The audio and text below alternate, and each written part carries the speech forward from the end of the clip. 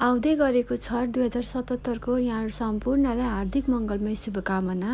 आज चाहिँ मैले छठ पूजामा चढाइने ठेकुवाको रेसिपी लिएर आएकी छु। यो बनाउन जति सजिलो छ खान पनि त्यति नै स्वादिलो हुन्छ। यदि हजुरहरूले मेरो च्यानललाई सब्सक्राइब गर्नुभएको छैन भने अहिले नै सब्सक्राइब गर्नुहोला साथसाथै साइडमा रहेको बेल आइकनलाई पनि प्रेस गर्नुहोला। अनि हजुरहरूले मेरो फेसबुक पेजमा पनि मसँग कनेक्ट गर्न सक्नुहुन्छ। लिङ्क चाहिँ मैले डिस्क्रिप्सन बक्समा दिएकी छु। Welcome to cook with Sabina thekua बनाउनको लागि मैले लिएको छु दुई कचौरा गहुँको पिठो। यो साइजको कचौराले दुई कचौरा लिएकी हुँ। त्यसपछि एक ठुलो चम्चा घिउ लिएकी छु। एक अनि आधी ठुलो चम्चा चिनी। त्यसै गरी मैले लिएको छु दुई चम्चा नरिवल कोरेरको नरिवल। लिएको सोफ आधा चम्चा तेल लिएको छु सनफ्लावरको। यो चाहिँ कति बेला युज गर्ने अहिले एकछिनमा हजुरहरूलाई भन्ने छु लिएको छु दुध।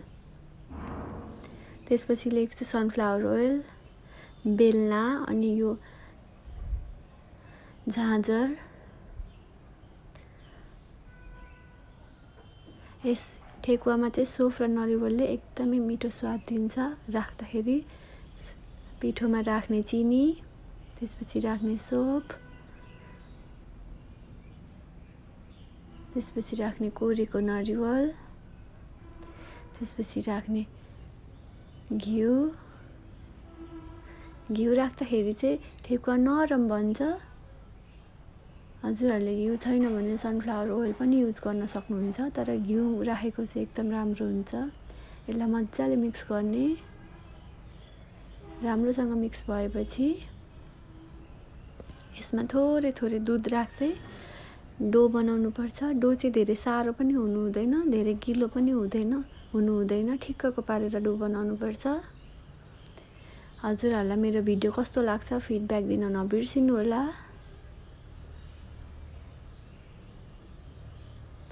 ठेकुवालाई चियासँग चोबेर बिहान खाँदाखेरि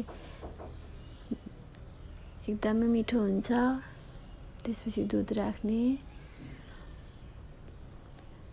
हजुरहरूले अरू थुप्रै फेस्टिभल स्पेसल रेसिपिजहरूको लागि मेरो च्यानललाई सब्सक्राइब गर्न नबिर्सिनु होला म विशेष गरी फेस्टिभल स्पेसल र नेपाली कुकिङ भिडियोहरू हाल्छु बेसिक कुकिङ। यसलाई छोपेर आधी घन्टा राख्ने। आधी घन्टा भएपछि फेरि एकछिन मार्ने एक मिनट जति। अब यो बनाउनलाई रेडी भइसकेको छु सानो सानो डल्लो निकाल्ने धेरै ठुलो निकाल्दा पनि राम्रो हुँदैन।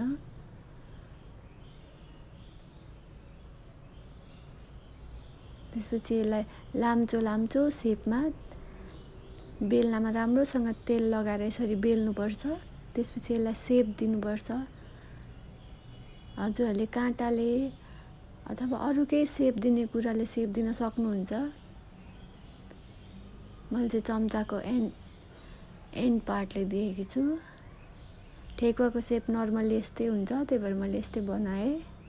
हजुरहरूलाई जस्तो सेप दिन मन लाग्छ त्यस्तै दिन सक्नुहुन्छ। यो बाहिरबाट क्रिस्पी र भित्रबाट एकदमै सफ्ट हुन्छ। त्यसपछि भाँडामा राम्रोसँग तेल तताउने। सनफ्लावर ओइल लिएकी छु मैले। त्यसपछि बेलेर राखेको हाल्ने ठेकुवा।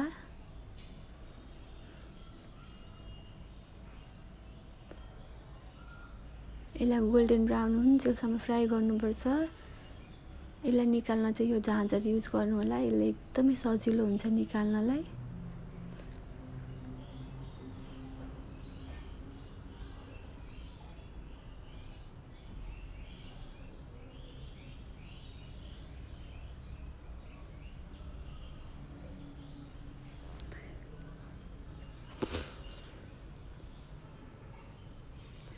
त्यसै गरी हामीले सबै सबै ठेकुवा यसरी नै तार्छौँ अघि बनाएर राखेको।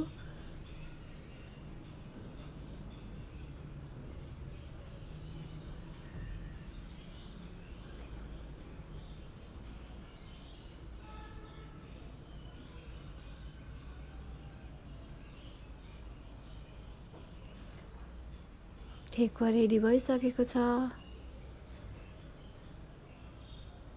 हेर्नुहोस् त यो कस्तो यम्मी देखिएको छ। विशेष गरी छैठको बेलामा यो ठेकुवा एकदमै धेरै बनाइन्छ। छैठमा पूजा गर्नलाई यो एकदमै धेरै प्रसादको रूपमा युज हुन्छ। यहाँहरूलाई मेरो भिडियो कस्तो लाग्छ लाइक कमेन्ट सेयर अनि मेरो च्यानल सब्सक्राइब गर्न नबिर्सिनु होला